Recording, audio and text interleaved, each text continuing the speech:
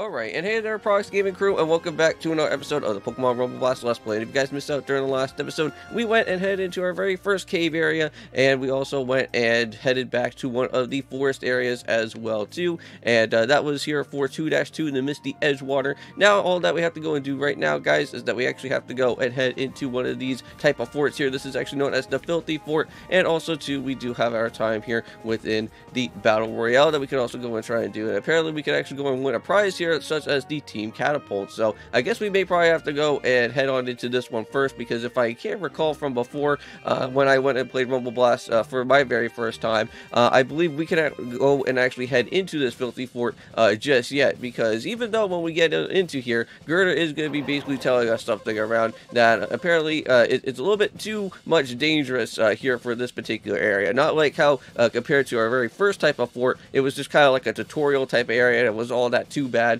and we actually did go and manage out to battle out with the Krookodile here, uh, but I guess we kind of have to wait for a little bit. But uh, you won't get over the wall without a special contraption, and that, of course, is going to be that Team Catapult uh, that is going to be for award over at the Battle Royale. So, with all that being said in mind, let's go and tackle out with here in the Battle Royale first, and then we'll see what is going to be happening from here. So, this is the type restricted, only that Ghost type Pokemon can only participate in battle. Wow. Okay, so now hold up for a second here because because I did actually get to see that there is one more missing other area that was here, and we never got to go and do this one yet. This is going to be known as the Haunt Yard. Now, I don't know if we have ever went and headed into one of these type areas before, but it seems like this is going to be a perfect place to go and search for some ghost type Pokemon. So, we can't really go and use our Combusken at all, but at least our Combusken is our highest Mon out here so far within our party, so we could go and use that to our advantage here for this place, and hopefully we could get some pretty nice good damage from when we actually go and start uh, knocking out with some of the uh, different bosses that, that are going to be uh, here for this particular area. So let's go for it. Oh, nice. We got some brand new type of ghosts out here. We got ourselves with Litwick now, and we also do have uh, with Gastly at this point, which I don't think we have ever got ourselves a Gastly. So that's pretty cool. Alright, let's just keep on moving forward. Oh, here we go. Got some other new mods around out here. We got some Duskulls finally. Now let's see if I can be able to go and knock it on one of these guys here. Can we? Uh, or get ourselves with a toy for one of these guys? Fortunately, that is not going to be the case, though. But however, we do have another level that is going to happen right on after this. So hopefully that is going to happen here. Now, uh, oh yeah, and also too, one thing that I do want to kind of go and let you guys know about here uh, within our uh, episode out here for today. Ooh, look at that. We got ourselves a Shuppet.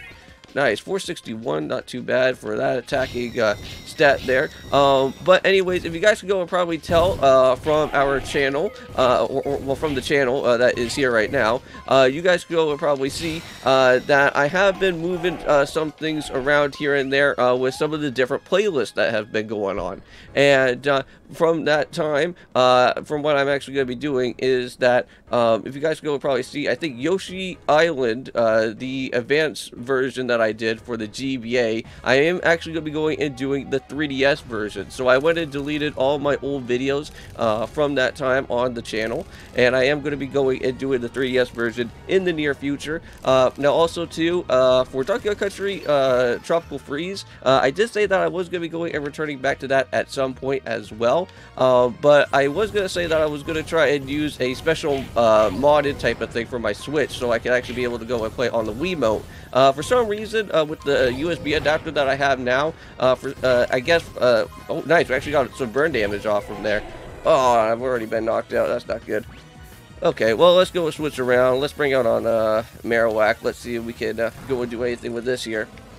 Now, I know that, uh, I, I, guess, uh, even with normal typing type of moves, I can still go and do some damage, even though that in, in the real game here, uh, uh, even though the real game is basically not going to work on these ghost type guys, but it doesn't matter.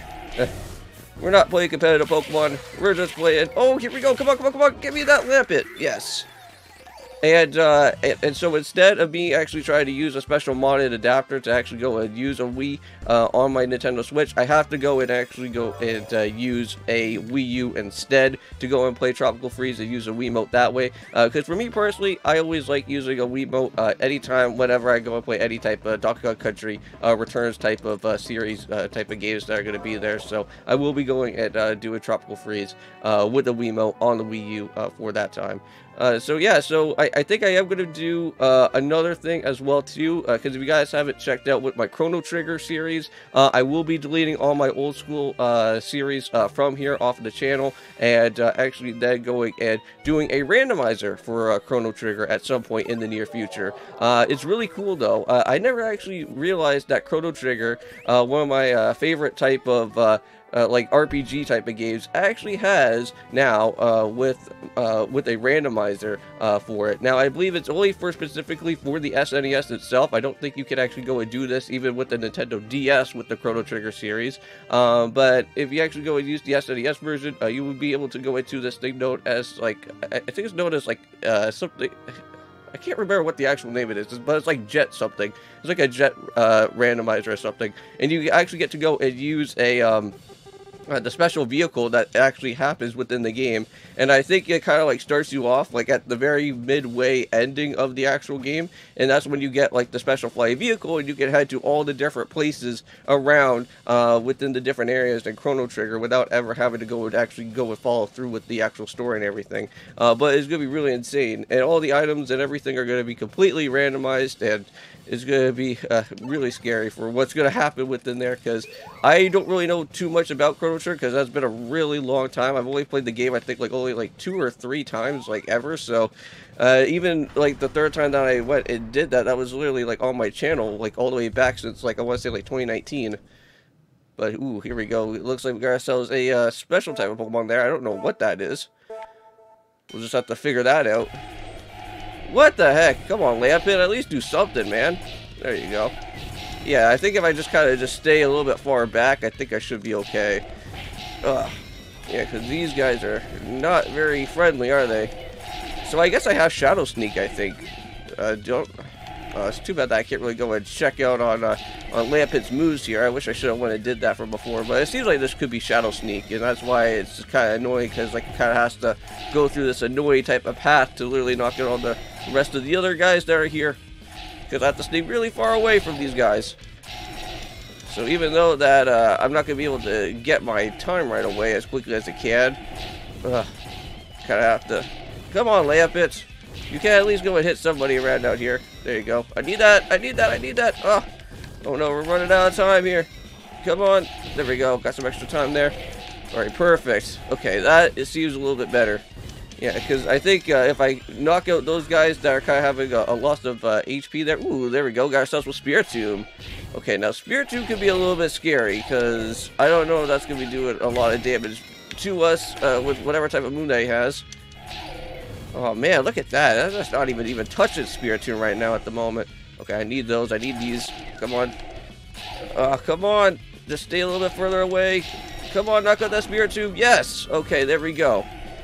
I was a little bit scared about that Spiritomb because uh, I didn't know what type of uh, crazy mood that he was going to have, like Ominous Wind or something. But there you go. Litwick was the last one here. So now can we get ourselves with that Team Catapult and actually go and use this for our time for when we go ahead to the Filthy Fort. Nice, look at that. We got ourselves a prize money of 1500 and we got ourselves an A rank. So that's actually really good that we went and got ourselves with an A rank here for this place. Alright, so Ghost type battle has been cleared out. 25 out of 31 of the Pokemon have been defeated, which was uh, is great. But hey, there we go. Got ourselves a victory once out here again.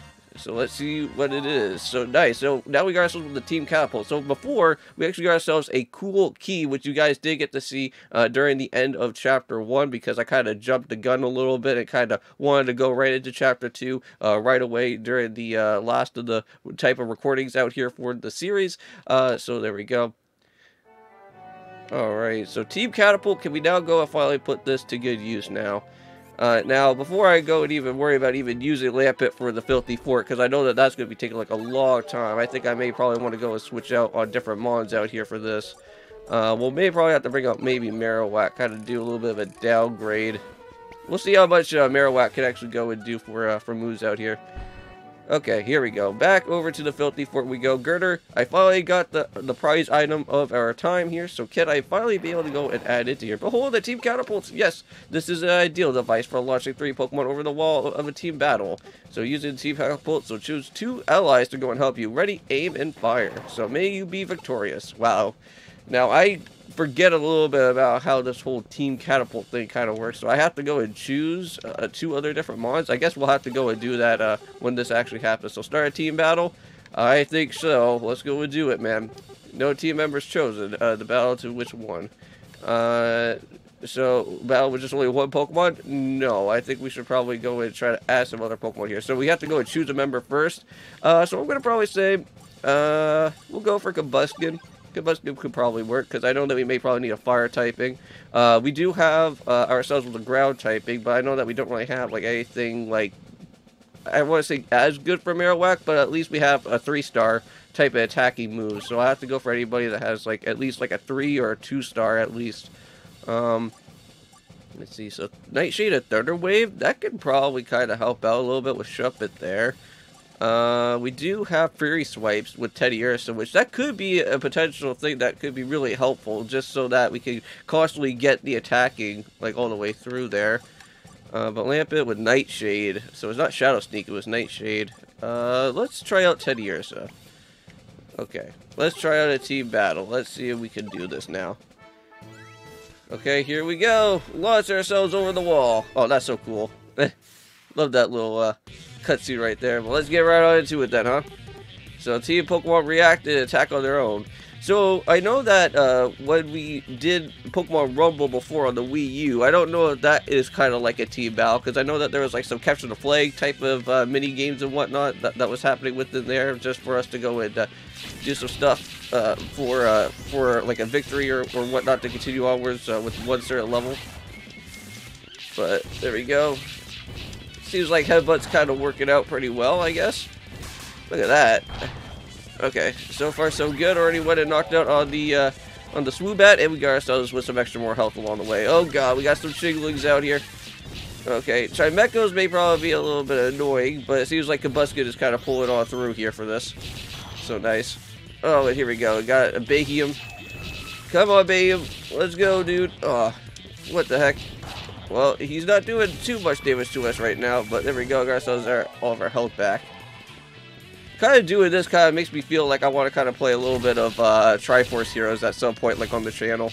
Uh, which, if I do Triforce Heroes, I would have to do that on my uh, on my 3DS capture card because uh, I know that um, for some reason, it seems like Citra does not really like uh, the use of uh, having the multiplayer type of function all that too much. So, I just need to go and find some people that would be uh, interested on actually doing Triforce Heroes at some point, like on the channel, which uh, that'd be really cool. But uh, but it would have to be some of my closest friends, though. Bring on over to uh, to my place. All right, here we go. Let's see. Come on, knock out on the Medicham. So is this the boss Pokemon? Is this what we're finally here? Well, it did say Filthy Fort, so I was kind of right during the last episode. Because I know it was saying something about Filthy. I know it was going to be like some sort of garbage Pokemon, which of course, uh, it has to be Garbodor. So uh, you're not good enough uh, to take out the trash. Hey, I'm always good at, at always taking out the trash, man. I always make sure that I always go and, uh, and always do that on, on, uh, on trash day. There you go. Oh, you cleaned up after all. Long live the leader. When I literally said said uh, said uh, said trash, but then I put man at the end, I kind of literally thought about Sunny at Philadelphia, uh, always Sunny at Philadelphia with uh, um, with that one episode with uh, Danny DeVito being like a wrestler. That was what his uh, that was what his name was. All right, but there we go. I guess we can finally say that we can kind of mosey on over to the next chapter then. Or, or, not next chapter, but next area. So here we go, guys. So it's 2-3 this, uh, what is this? Soothing Shore. Huh. Well, let me guess. There's going to probably be some Mudkips that are going to be around out here at some point. Whoa. What the heck? well, that was really weird. I, I, just went and literally knocked out uh, the, the little swaddle there, and then I just went and uh, jumped right on into our time here back into Easterly Town. I thought my game kind of like broke there for a second. But anyways, I think this is a good enough time uh, for me to go and just kind of end off our episode out here for today. So thank you guys so much for watching. Don't forget to leave a comment, like, also subscribe to the channel if you're new. And uh, in the next episode, uh, let's just kind of see what we got ourselves involved with here. So in the next episode, we'll kind of be jumping into the lake area, which I don't believe we actually went ahead off into there just yet. And I do see that there looks to be another tower area. So we got some more type of ghost type Pokemon lurking around. So we will go and take care of those two uh, ones here in the next episode, and we'll kind of start move, uh, move uh, we'll start moving on forward here to uh, to the next ones that I do see because I do see that there's a battle royale, but I don't think we can really go and do a about with that just yet. Uh, but anyways, I'll see you guys then, and of course, peace.